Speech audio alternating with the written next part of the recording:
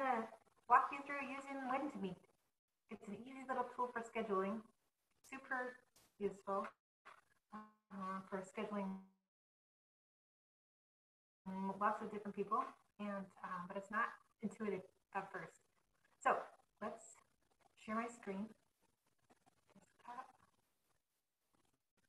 Yep, that's what I want to do. Okay, sharing my screen. So I'm going to navigate to my browser. And I'm going to go to planning a new event. I will name it. Am I recording? I forgot. I think I am. Um,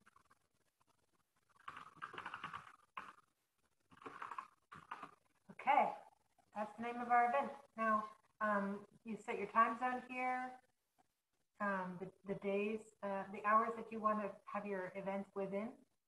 And then you click on the days that you're open to scheduling, whatever they might be. So then you say you're going to create the event. And now the event shows up here. This shows people's availability that have signed up. Um, so I'm Dana. Um, as a participant, I'm just going to type in my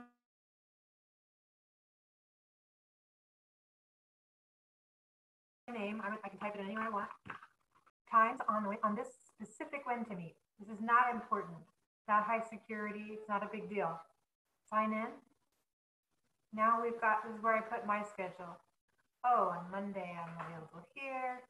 So here I'm just clicking, clicking on the, clicking and dragging the times that I want. And if I, if I said, oh no, I have a meeting in that time, then I would come back, click and drag, and it'll go back blank again.